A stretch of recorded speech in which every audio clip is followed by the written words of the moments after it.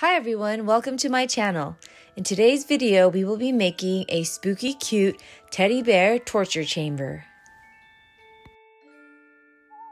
We all have our favorite teddy or that super cute stuffy that we would just love to incorporate into our Halloween decoration.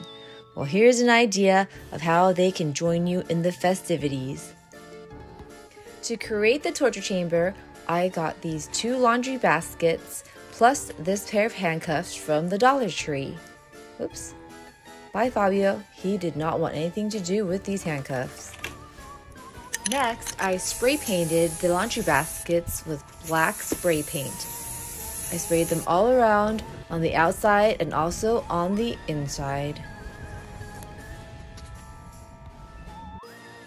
I added another layer of metallic silver spray paint on top of the black. This gave the torture chamber the look of metal.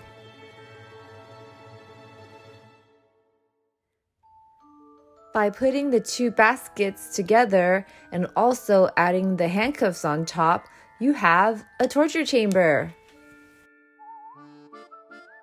And here we have our final product. Little sad, but super spooky cute to add to your Halloween decorations. Oh my goodness, I left Mr. Teddy in there for a little bit too long and I forgot to feed him.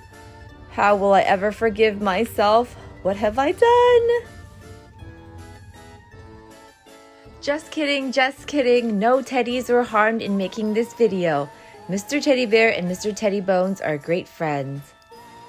I hope you enjoyed this video. Thanks so much for watching. Please subscribe so you don't miss new content.